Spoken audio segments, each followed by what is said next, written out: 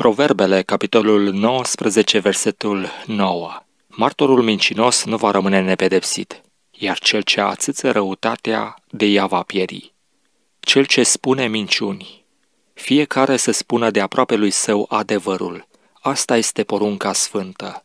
Orice minciună, fiind de la diavolul, este clar că oricine o folosește este un slujitor al tatălui minciunii. De aceea cel ce spune minciuni prin aceasta se judecă singur la o sândă, fiindcă nu se îndreaptă, deși știe atât păcatul său, cât și cuvântul osânditor.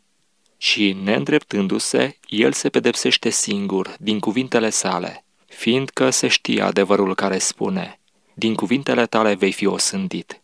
Evanghelia după Matei, capitolul 12, versetul 37.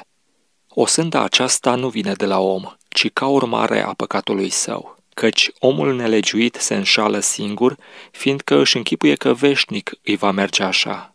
O, cum se înșală inima nelegiuită și fățarnică a celui ce nu are nici dorința să se lase de păcat și nici teama să nu se pretindă credincios dacă nu este.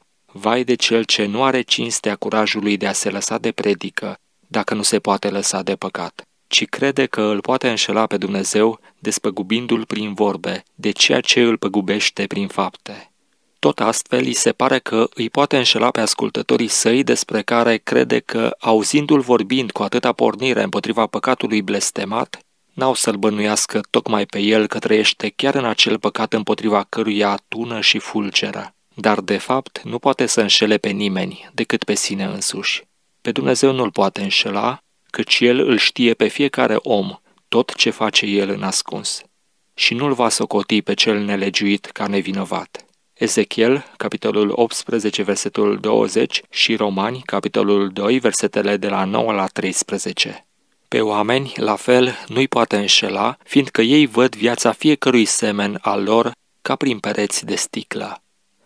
În afară de aceasta, Duhul celui care vorbește strigă mai tare decât gura lui și graiul Duhului care stăpânește în inima omului este mai convingător decât cel pe care îl spune gura sa. Slavă veșnică ție, Doamne și Dumnezeule al adevărului, pentru grija pe care o ai Tu de a descoperi la timp orice minciună și pe orice mincinos.